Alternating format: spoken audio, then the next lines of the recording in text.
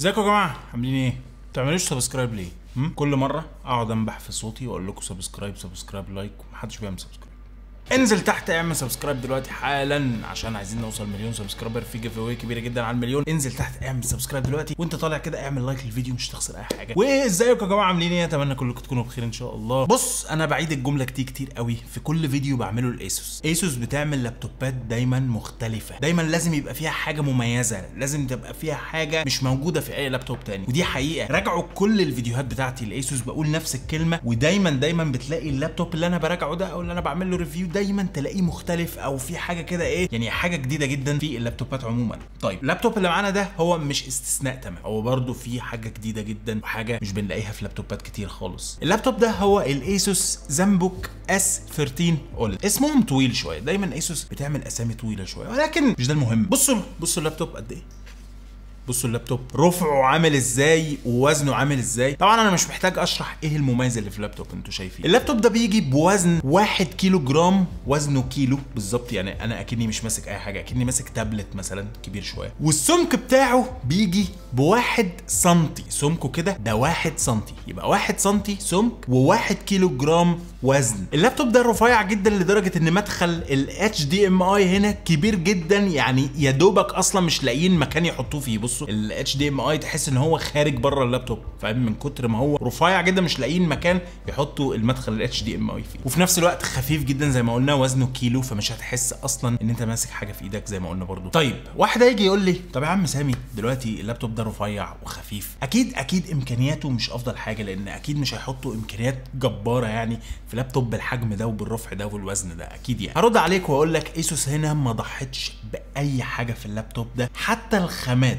اللابتوب هنا مصنوع من حاجة اسمها plasma ceramic aluminum عشان تديله صلابة أكتر ويكون ضد الخدوش والتجاريح. اللابتوب كله مصنوع من الألومنيوم. التصميم بتاعه هنا برده شيك قوي. عندنا الخطوط ال monogram اللي ورا دي ودي بالمناسبة هتلاقوها في أغلب اللابتوبات Asus الجديدة. ال hinge هنا أو المفصلة بتاعت اللابتوب ده ممكن تفتحها 180 درجة. واللابتوب بشكل عام شيك قوي قوي وأنيق وخفيف ورفيع. زي ما قلنا حاجة شياكة جدا جدا الصراحة. بصوا شكله تحفة. وانت حاطه على المكتب كده مثلا لو دخلت meeting أو حاجة وانت حاطه على المكتب كده بالرفع ده والمنظر ده. تحفة صح. تعالوا بقى نتكلم عن الشاشة. أول ما تفتح اللابتوب ده هيقابلك شاشة بحجم 13.3 من 10 بوصة بدقة 2.8K من نوع OLED. متخيلين الفكرة؟ بص الشاشه رفع إيه؟ ورقة. Asus هنا بتسمي الشاشة دي؟ Lumina OLED display يعني اسم إيه؟ سينمائي شوية هو OLED. تمام؟ الشاشه هنا بتدعم ال 100% دي سي اي بي 3 عشان لو أنت مثلا بتعمل شغل color grading مثلا أو تلوين ما عندكش مشاكل خالص. الحواف بتاعتها برضو زي ما أنتم شايفين رفيعة جدا جدا واللابتوب كله بشكل عام يعني. كله بشكل عام أول ما تمسكه كده وتفتح الشاشة وتشوف ألوانها ودقتها هتنبهر بيه جدا الصراحة. طيب هنلاقي كاميرا هنا فوق الشاشة ودي أول مرة أنا فاكر إن أنا هقعد أتكلم عن كاميرا في لابتوب. عادة كاميرات اللابتوبات بتبقى كده إيه يعني تقضي الغرض كده اللي هو تعمل إيه video call بتاع انجز حالك ما تصدعناش. وفي لابتوبات أصلا مش بتحط لك كاميرا. لو يا عم روح إيه اعمل ال Zoom meeting في موبايلك مثلا ولا شوف شوف أي حتة تقعد فيها. ولكن الكاميرا دي مش زي أي كاميرا محطوطة في اللابتوب. الكاميرا هنا اولا بتيجي بدقة Full HD واللي Asus هنا بتسميها Asus AiSense camera واللي هي بمنتهى البساطة الكاميرا دي بتقرأ أبعاد الصورة بشكل ثلاثي الأبعاد وتحدد المسافات. ودي هتستخدمها في إيه؟ اولا هتستخدمها في إنك تفتح اللابتوب ببصمة وشك الحقيقية مش مجرد صورة حاجة زي الآيفون مثلا. تاني حاجة بتستخدمها في effectات معينة مثلا وأنت بتعمل Zoom meeting زي effect ال portrait إنك تعزل نفسك عن الخلفية وأنت بتعمل Zoom meeting live يعني أنت بتعزل نفسك عن الخلفية بتخلي وراك كده مشوش أو blurred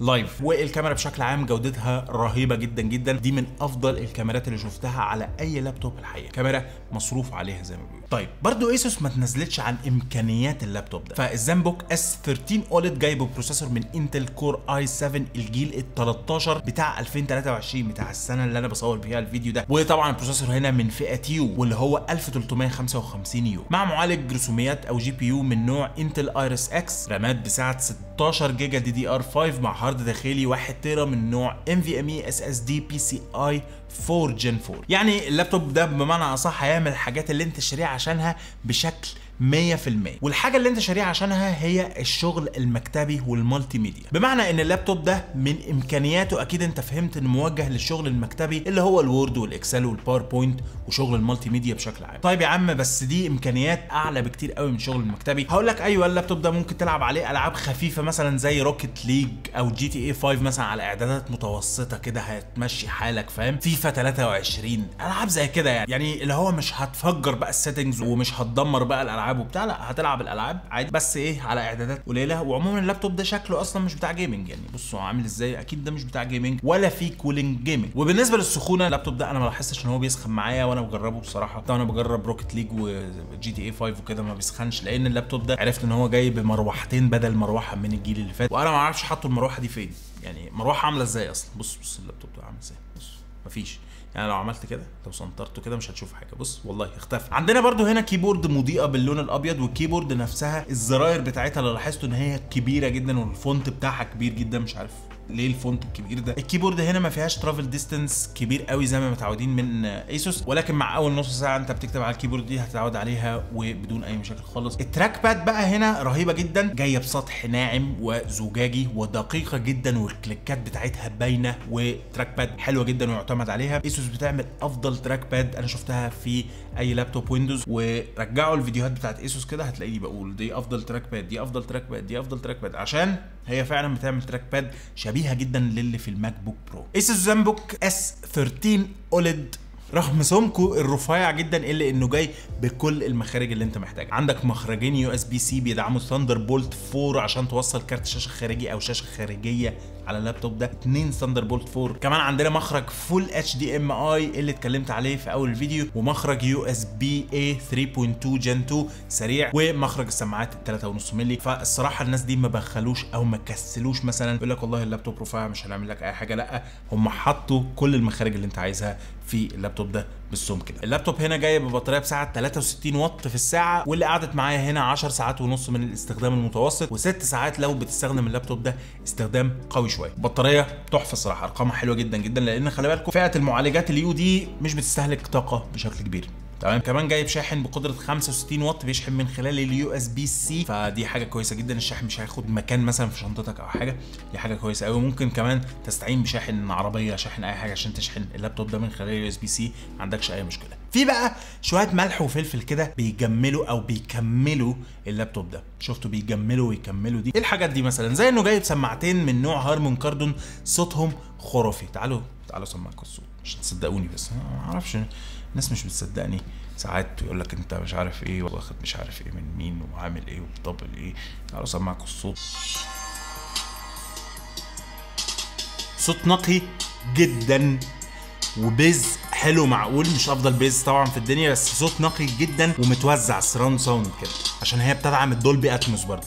صعب جدا إن أنت تحدد الصوت ده جاي منين. تحس إن الصوت يعني إيه محاوطك كده من كل حتة فاهم؟ فزي ما قلنا السماعات اللي هنا حلوة جدا جدا. كمان حاجة زي مثلا إنه جاي بخاصية ال noise cancellation يعني اللي بيكلمك مش هيسمع الدوشة اللي جنبك وأنت كمان مش هتسمع الدوشة اللي جنبه. اسمه two way noise cancellation بيعزل صوتك عن الخلفية وبيعزل صوته عن الخلفية اللي وراه برضه. تمام؟ عندك مثلا حاجة اسمها smart connect يعني لو انت قاعد في مكان فيه كذا شبكة واي فاي هو بيشبك على أفضل signal من الشبكات اللي حواليك دي. ولو الشبكة اللي انت شابك عليها دي ضعفت بيحول على واحدة أقوى منها. ده هو ال smart Wi-Fi وكمان جايب dual band Wi-Fi 6E عشان سرعات الإنترنت. الفائق. وأخيرا حابب أتكلم عن حاجة في أجهزة Asus بشكل عام وموجودة في الجهاز ده وهي برنامج MyAsus MyAsus هنا باختصار بيخليك توصل الموبايل بتاعك ايا كان نوعه إيه يعني Android أو iOS باللابتوب ده. تقدر من خلاله إنك تنقل بياناتك من وإلى اللابتوب وكمان بيديك access على الملفات بتاعتك اللي موجودة في اللابتوب من الموبايل. تقدر ترد على المكالمات تقدر ترد على الرسائل بتاعتك ترد على الواتساب اللي جاي من الموبايل من على اللابتوب بال keyboard بتاعت اللابتوب وأنت شغال. عادي جدا. فالموضوع ده حلو جدا الصراحه وأنا ما شفتوش من اي شركة لابتوبات تانية غير Asus وبس كده دي كانت كل حاجة عن هذا الوحش. اسمه إيه بقى؟ Asus Zenbook 13 Asus Zenbook S 13 OLED تقريبا. في النهاية ده رأيي. اللابتوب فيه شاشة زي ما قلنا ال OLED 2.8K تدعم ال 100% دي سي أي بي 3 وشاشة حلوة جدا جدا. عندك ال keyboard المضيئة عندك الإمكانيات اللي فيه 16 جيجا RAM 1 تيرا ان في ام اي اس اس دي وعندك Core i7 الجيل ال 13 عندك البطارية الجبارة جدا والشحن اللي من ال USB-C وكل المخارج اللي انت محتاجها موجودة في اللابتوب ده. لو انت عايز لابتوب شيك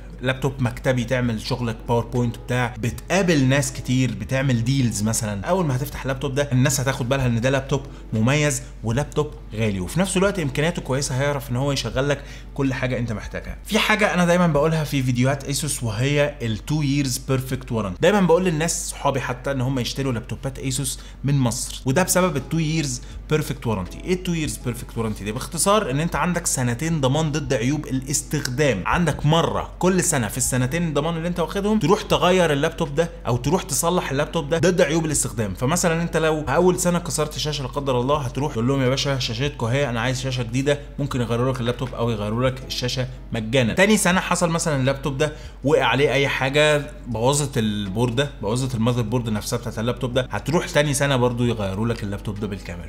فموضوع ال2 years perfect warranty ده خرافي وزي ما بيقولوا لا يقدر بثمن الصراحة. يعني حتى لو انت هتشتري اللابتوب ده من مصر أغلى شوية من بره بس الصراحة موضوع الضمان ده انت مظبط نفسك ومش قلقان من أي حاجة. أول سنتين من تاريخ شراء الجهاز ده. ASUS برضو عاملة حاجة اسمها رأيك يهمنا أو your voice matters هسيب لكم ال link بتاعها تحت في ال description لو انت اشتريت أي لابتوب من لابتوبات ASUS مؤخرا من أي store بتدخل تقول لهم رأيك إيه في اللابتوب وممكن تكسب حاجات تقريبا لغاية 400 جنيه أو 600 جنيه أنا مش فاكر قوي. بس إيه في جوائز وكده. فلو انت شاري لابتوب ASUS من قريب انزل تحت في ال description هتلاقي ال link بتاع رأيك يهمنا بتاع ASUS هتسجل بياناتك تقول لهم رأيك على اللابتوب خد يا باشا جايزتك. تمام؟ ASUS برضو لسه عاملة حاجة جديدة اسمها ASUS e-store أو ال electronic store اللي هو المتجر الإلكتروني بتاع ASUS إن أنت ممكن تشتري من ASUS شخصيا direct ويوصل لك لغاية البيت. طبعا لو أنت مش عايز الكلام ده ممكن تشتريه من أي موزع معتمد ل ASUS عادي كده بس أنا حبيت أقول لكم على موضوع ال e-store بس كده قولوا لي رايكم تحت في الكومنتات وهرد على كل الكومنتات كالعادة. أي comment أنت هتكتبه أنا هرد عليه على طول بدون أي نقاش حتى لو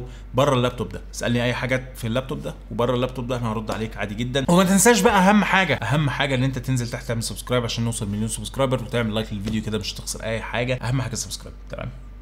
اعمل subscribe يلا أنا معكم محمد سامي أشوفكم في فيديو جديد إن شاء الله. السلام عليكم.